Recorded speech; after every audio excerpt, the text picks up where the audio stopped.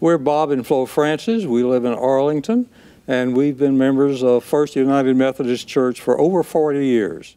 During that 40 years, our church has faced many challenges.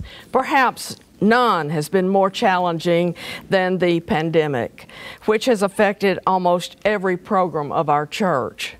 But we are assured by Paul's words that nothing can separate us from the love of God, not even a pandemic.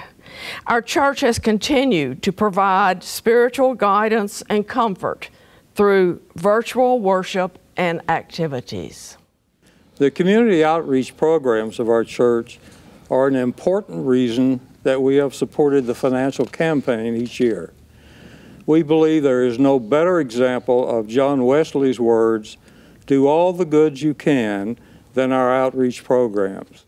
As one example, let me point out some of the work of the First Street Mission, which has been active in the Fort Worth community since the early 1950s. Last year, the mission provided food, clothing, and various services for over 5,000 different households, which included more than 10,000 individuals. Over 11,000 food bags were provided in the Food for Kids program, which serves children in several elementary schools in low-income neighborhoods. Over 12,000 sack lunches were provided for the homeless.